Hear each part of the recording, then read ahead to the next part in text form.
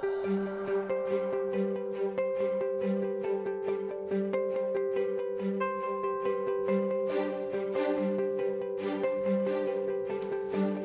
and welcome to London. My name is Dr. Sharon Bolton and I'm Dean of Student Life at International Students House.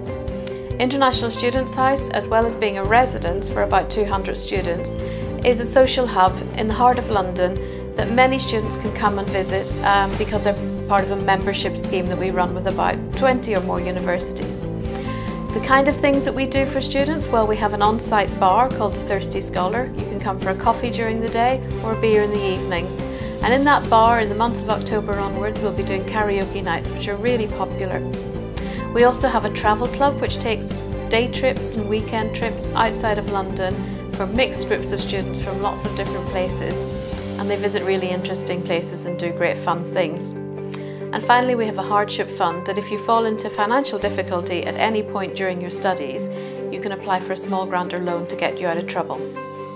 To know more about what we're doing, we're on all the social media, Facebook, Instagram, so find us and follow us. But more importantly, come into the building and feel um, the community that we have here. You'll be able to meet students from lots of different universities and from all over the world and really expand your network. So I look forward to seeing you here at AISH some point this term.